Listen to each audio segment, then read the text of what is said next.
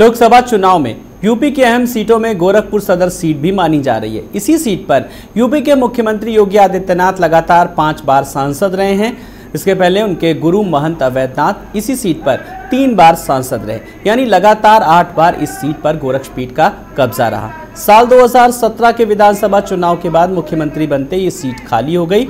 और साल 2018 में हुए उपचुनाव में बीजेपी को गोरखपुर लोकसभा सीट से हाथ धोना पड़ा।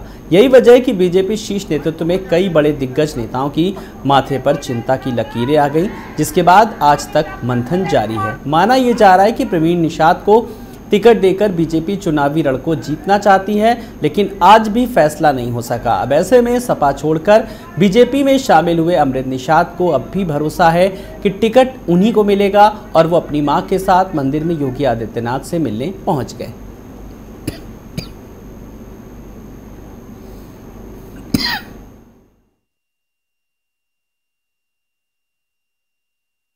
का मंथन जारी है। अमरेंद्र निषाद को मिल सकता है टिकट।